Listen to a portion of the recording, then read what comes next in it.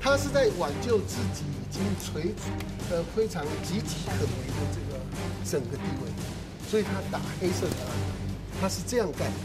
可是我说我有一个例子，习近平像一个中国僵尸，已经快被美国把他埋在地上去了。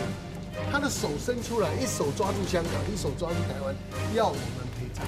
他陪葬的方法，在香港就是那个已经完全丢到垃圾桶里头的一国两制。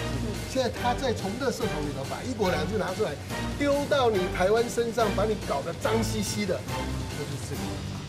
就是中国僵尸想要在自己被败亡之前呢，抓住台湾跟抓住香港一起陪葬。所以蔡英文这个讲法，啊，才是很重要。在这一段时间，那我相信也是全世界大家都希望听到蔡英文总统这个讲法，这个毫无疑问。不过我要提醒蔡英文，以现在的力度来看，我们要赶快研究，他如果这样做的时候，是不是已经着手实施？这是颠覆国家政权哦。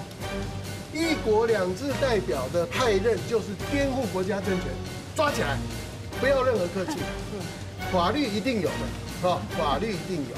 如果法律上面不够明确，我也认为呃，民进党的这个立院党团一定要马上朝野协商，这也测试整个国民党的立委以及其他党立委，你们在这个国家，你们在这个国家的立场上面。还要继续为一个死去的盆栽浇水吗？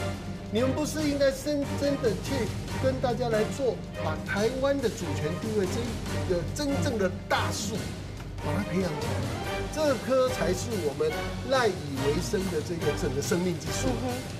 不要再去面对那些虚假的东西。因因为习近平的这个东西，我我刚讲哦，它是一个私速火车。他自己要去撞悬崖，我们不要陪葬，谁陪你啊？是这个才是真正我们今天站在这个地方最重要的一个态度，看清楚事实。敬请锁定新台湾加油。